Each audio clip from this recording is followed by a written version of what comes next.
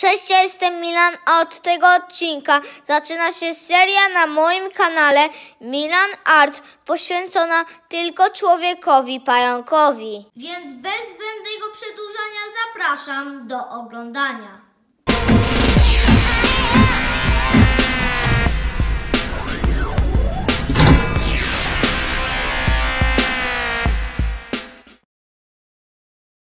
Ach, Spider-Man. Już od 1962 jego popularność wzrastała. Jego pierwszy komiks został wydany przez Marvel Comics Studios.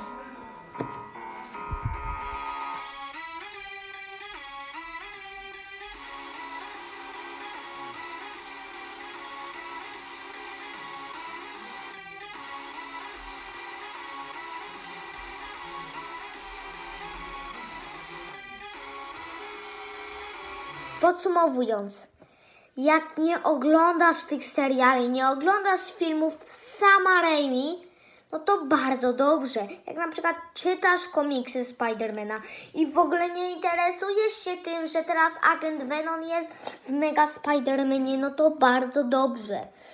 Te komiksy są prawdziwym uniwersum Spidermana. Komiksy pokazują prawdziw, prawdziwą historię Spidermana.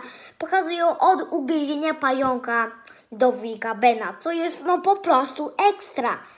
Możecie pewnie się domyślić, że te seriale nie opowiadają prawdziwej historii o człowieku pająku. Jak na przykład te z Nicolasem Hammondem w roli głównej.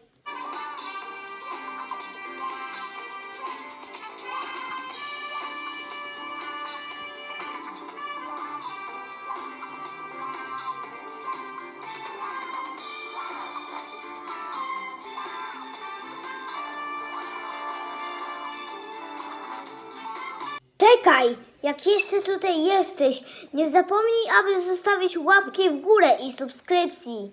Więc ja z wami się już żegnam. Siemano.